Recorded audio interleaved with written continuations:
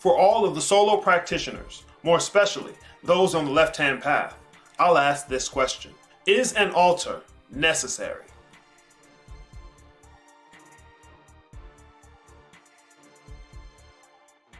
To start this off, I want to describe a few ideas of what people would generally consider when they think about an altar and how they would use them.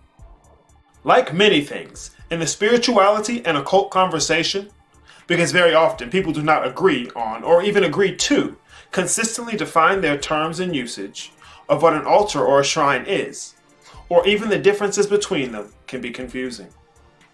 Traditionally, the term altar has been saved for a separated surface upon which ceremonies are performed, or at the very least, consecrated tools are kept.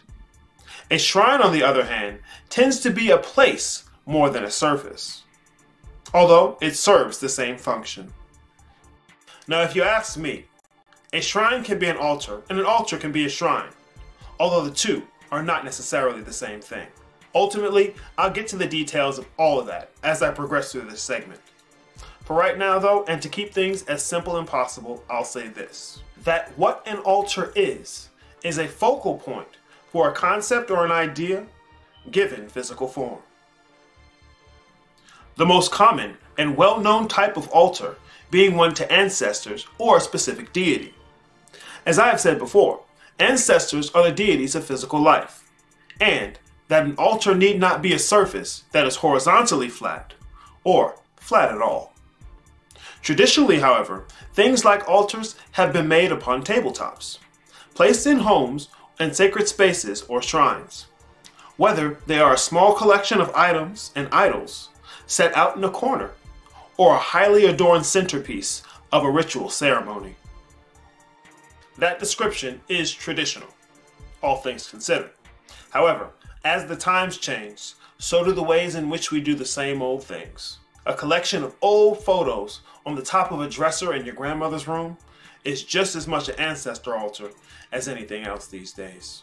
Where once someone would have covered a wall in the images of Ganesha from the Hindu pantheon, today you can find a wall covered in a selection of motivational art and images.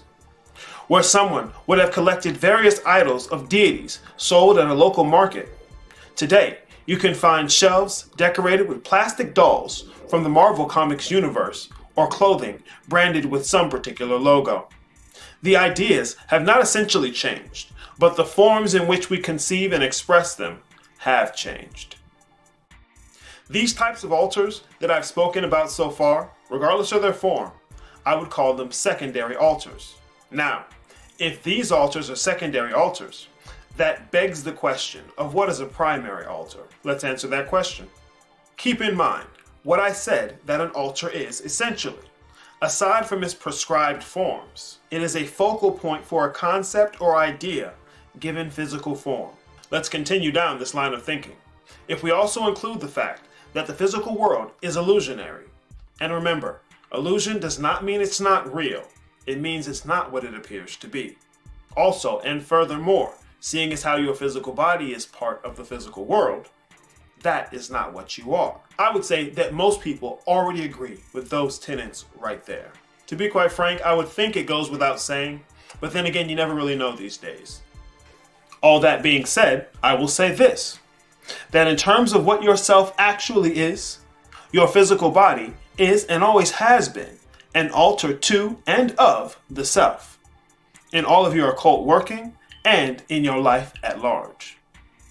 The best way to understand an altar is to look at how you are already using one.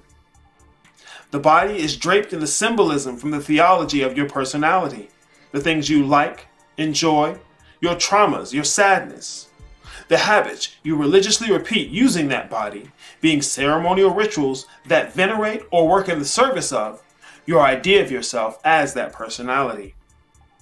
From the clothes that you wear, draping your flesh, like an altar cloth made from the finest scrap of fabric you could get your hands on, all the way to the scars and shape of your body, reflecting the life shining out of it. Like I said, the body is draped in the symbolism from the theology of your personality. What you like, don't like, what you stand for, believe, or would like to appear to be. That altar of the body is even nested within other altars or shrines. The idea behind a shrine being that it's a place as opposed to something in a place. The room and space that you consider your own can be construed as an altar, where your body becomes movable like some idol or centerpiece atop the altar, or can even be transposed onto another altar or shrine by moving from one room to the next within a house, the house containing all of those rooms. Your room is an altar to yourself, the same way the body is, although with a different form and density, reflecting outward that which is within the body, but it's not the body, in physical form. The result being your room and how you've decorated it, how you choose to carry it, keep it, maintain it. Even further, your room can be one altar upon the shrine of your entire house, where each room is a different altar. From the altar of your room upon the shrine of your house, the body is moved to another altar, say the bathroom, basement, or even the kitchen. The kitchen being an altar to nourishment, cooking, community, and food in general, among other things. So much so that what you would do in one room, you would never take the time to consider doing in another room.